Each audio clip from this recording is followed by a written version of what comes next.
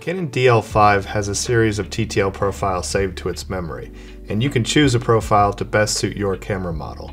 To see which profile suits your camera model, check out the link in the description of this video. Um, and to reprogram the converter is actually quite simple. So what you want to do is you want to have compatible DS strobes hooked up to your DS converter. Now there's no battery installed into this converter because it gets its power from the strobes.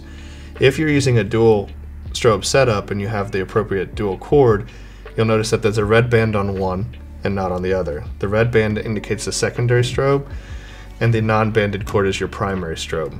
The primary strobe is what provides power back to the converter.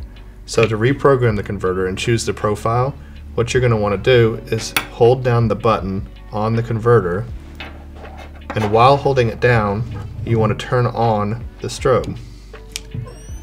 Now what you're going to notice is that it blinks and it's blinking to correspond to the number.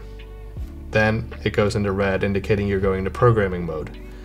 Then it blinks 1 for program 1, 2 for 2, 3 for 3, etc. In this case we'll go to 4 and then let go.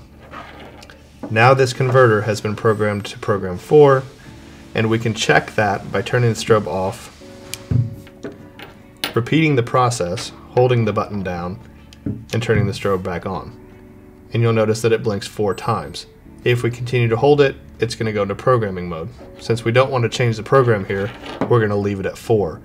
Now the nice part about this is you're not changing cameras a lot so you don't need to change programs a lot. Now that that is programmed to 4, it's going to stay that way until you change cameras and want to choose a different TTL profile.